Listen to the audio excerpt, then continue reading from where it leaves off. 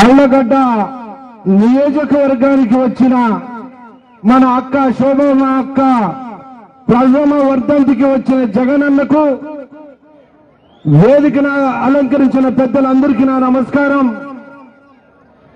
ఈరోజు మా అక్క శోభక్క చనిపోయి సంవత్సరం అయినా కూడా ఇంత ప్రేమ అనురాగాలు పంచుకుంటుంటే చాలా నాకు బాధ అనిపిస్తుంది.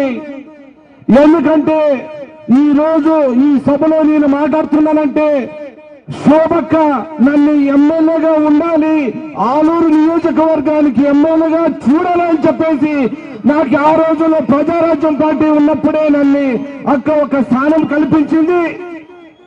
అదే విధంగా తర్వాత మన జగనన్న మన వైఎస్ఆర్ కాంగ్రెస్ పార్టీ స్థాపించిన తర్వాత అదే ఆలూరు నియోజకవర్గానికి జయరామన్ నేను ఎమ్మెల్యేగా చూడాలని చెప్పేసి నాకు ఈ సొంత హక్కుగా నాకు ఈ సొంత తమ్ముడుగా చూడాలని చెప్పేసి ఆ రోజు నాకు ఆశీర్వదించే అక్క. ఈ రోజు లేనందుకు నాకు చాలా బాధగా ఉంది.